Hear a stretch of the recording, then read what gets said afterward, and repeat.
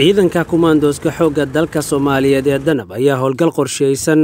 ku burburiyey saldhigyo nabadiidka al-shabaab ay ku lahaayeen deegaano hoostaga gobollada shabeellooyinka iyo hiiraan howlgalka ciidanka kumaandooska xoogga dalka ay fuliyeen ayaa waxay ku soo qabteen horjoogayaal uu ka mid ahaa horjoogihii maaliyadda gobolka hiiraan kaasi oo lagu magacaabo xasan yuusuf cali iyo horjoogihii maktabka waxbarashada dumarka ee deegaanka ceelcadde ee gobolkaasi hiiraan kaasi oo isna lagu magacaabo cali cabdulle jilacow maktabkaasi oo ahaa maktabkii ay markaasi dumarka kaga dhaadhicin jireen fikradaha qaldan ee guracan ee kooxdaasi. Sidoo kale waxaa howlgalka lagu soo qabtay horjoogihii sakawaadka waxa ay igu yeeraan ama xoolaha baadda ah ay ka qaadaan dadka masaakiinta ee xoololeyda iyo beeraleyda ee gobollada shabeellooyinka kaasi oo lagu magacaabo cabdulaahi isxaaq xuseen taliyaha ururka toddobaad kumaandooska xoogga dalka danab dhamme xasan maxamed cismaan oo la hadlay warbaahinta codka ciidamada qalabka sida ee soomaaliyeed ayaa tilmaamay in ciidanka kumaandooska xoogga dalka ay howlgalka ku burburiyeen